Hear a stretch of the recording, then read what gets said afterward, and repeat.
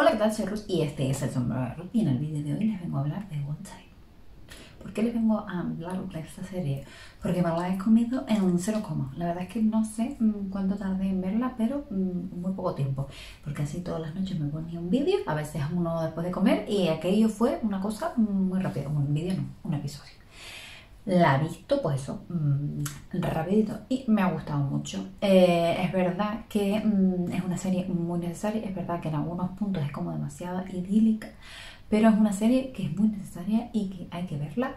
Y yo de lo que le vengo a hablar es de la moda de la serie, pero, y de lo que tenemos en la serie, pero, pero, pero, eh, spoiler alert, eh, si no la has visto y no la has visto entera, no puedes ver este vídeo.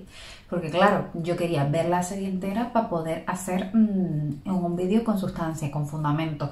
Porque a mí lo que me gusta mm, del arte, de la moda y de todo en general, de todas las disciplinas artísticas, es lo que es el simbolismo, lo que interesa. Entonces, si yo te voy a hacer destripamientos de la serie, pues mm, no quiero yo hacerme responsable de este daño. Así que yo he visto ya todas las temporadas que están disponibles ahora es decir, hasta la cuarta temporada. La quinta temporada se supone que es en verano y que se acaba la serie. Así que, spoiler alert, si no la has visto entera, lo siento, mijita, no puedes ver este vídeo. O lo puedes ver bajo tu responsabilidad. Pero por favor, eh, spoiler no, yo es que odio los spoilers. Total, me centro. Pues voy a hablarles del estilismo, la moda y el simbolismo maravilloso que tiene The Bold Type. Vale, The Bold ¿de qué va The Bold? The Bold Type es una serie que se estrenó en julio de 2017, si no me equivoco, y ahora mismo se puede ver en Netflix y en Amazon Prime, si no me equivoco, porque como estas cosas van cambiando de plataforma, pero bueno, ustedes buscan en Google y ahí les aparece. Yo la vi en Netflix. ¿Y de qué va? Pues de tres chicas que trabajan en una revista eh, de moda, una revista de estilismo, de temas eh, dirigidos al público femenino, por así decirlo. Es como una especie de Cosmopolitan. La revista se llama Scarlett. Digo que es una especie de Cosmopolitan porque la revista Scarlett como tal no existe, pero se supone que está inspirada en la revista Cosmopolitan y, por ejemplo, el personaje de Jacqueline, que es la, la jefa, está, em, está inspirado en la ex eh, directora de um, Cosmopolitan, la directora jefe, eh, Joan Coles, si no me equivoco, mm, que se llame así. Pues mm, dicho esto, eh, les digo que la serie va de tres amiguitas que mm, trabajan en esta maravillosa revista y tienen pues su vida diaria, sus amoríos, su trabajo, su pim pam pim pam. ¿Vale? Pues les vengo a explicar un poquito pues los detalles de cada estilismo y del estilo de las chicas. Las chicas son tres. Tenemos a Saturn, tenemos a Jane y tenemos a Kat. Saturn es la clásica belleza de niña rubia con la piel clarita, con pequitas y ojos azules. Es la estilista de las tres y aunque es estilista, sus looks son normalmente bastante sencillos, no son looks demasiado estridentes ni demasiado elaborados. Ella es un personaje muy dulce, su aspecto es dulce y sus looks eh, también. Una cosa que sí me llama la atención es la utilización del tejido vaquero, del tejido Deming, que eh, lo utiliza en muchísimas ocasiones, no solo en pantalones vaqueros, que también, sino en petos o en otro tipo de, mm, de accesorios o prendas, como puede ser una cazadora vaquera. ¿Y por qué me llama la atención? Porque el vaquero es un tejido mm, normal y corriente, de uso cotidiano, de mm, toda la vida del señor. ¿Y por qué lo utiliza tanto Saturn, aunque Saturn es la estilista? Pues creo que tiene que ver con el origen de ella. Ella es una chica pueblerina y entonces ella tiene mm, sus orígenes de pueblo y entonces le gusta el vaquero. ¿Y por qué sé yo todo esto? Porque cuando ella eh, habla de su vida y cuando ella le enseña a Oliver el moonboard, eh, se puede ver pues su referencia, su estilismo, las cosas que a ella siempre le han gustado. Y ahí está el tejido vaquero. ¿Qué es lo que más me gusta mm, del estilo de Saturn? La utilización del color. Suele utilizar mucho el rojo, el rosa el azul y el violeta. Y estos colores le favorecen muchísimo a mm, sus facciones y su tono de piel. Pero para mí el look más bonito más interesante y con más carga emotiva de Saturn es el look em, con la camisa rosa con lazado al cuello en el episodio en el que tiene un aborto porque eh, digo que este es el look más potente, porque aparte de que el look le sienta muy bien, el look tiene un mensaje. No sé si saben que la lazada al cuello, la típica camisa con lazada al cuello, tiene distintos significados. Eh, la lazada en la lazada en el cuello se supone que su nombre viene del, diminutivo del lacito de, de gatita, pero también tiene otro significado Em, que es un significado más feminista, un significado de la inclusión de las mujeres en el mercado laboral en los años 70 y 80. ¿Por qué? Porque la camisa con lazada en el cuello, que estoy moviendo yo mucho las manos, que la camisa con lazada en el cuello em, viene a ser como una em, versión femenina de la pajarita y eh, es como un símbolo de la mujer trabajadora. Entonces me parece muy significativo que escogieran ese look en ese momento porque ella decide ir a trabajar en ese momento tan complicado y aparte mm, se da cuenta de que no quiere tener hijos, que prioriza su carrera, que su carrera es lo que ella desea hacer con su vida. Entonces me parece muy interesante la utilización de las prendas y el mensaje que se da, que además no se explica, pero mm, no hace falta porque se entiende. Y si no se entiende, pues estoy yo aquí para explicar. Seguimos. Em, Jane, Jane es mm, intensa. Jane es la bajita, pero intensa y tiene ella mucha presencia. Jane suele pisar muy fuerte por la vida, se mueve así como así. No sé si se han dado cuenta, me parece mm, maravillosa. Y Jane suele llevar tacones y negro. Eh, el estilo de Jane evoluciona, evoluciona durante toda la serie. Al principio es un poquito más juvenil y mm, con el paso del tiempo se va sofisticando, se va haciendo más formal, más señorial. ¿Por qué? Porque ella tiene objetivos. Ella es una gran escritora, una escritora eh, premiada, una escritora que la gente comienza a valorar y en función de que la van premiando y que ella va progresando, su estilo va madurando, se va haciendo con más fuerte, con más presencia. Una cosa que me encanta del estilismo de Jane es que Jane suele mucho mostrar eh, sus hombros y escotes pronunciados. Esto está hecho por dos motivos. Primero, para estilizarla y para mostrar así como más piel y también para dar eh, un mensaje. Para estilizarla lo digo porque ella es bajita. Y luego también para dar un mensaje, porque eh, suelen acentuar mucho los hombros y eso normalmente no se hace en estilismo.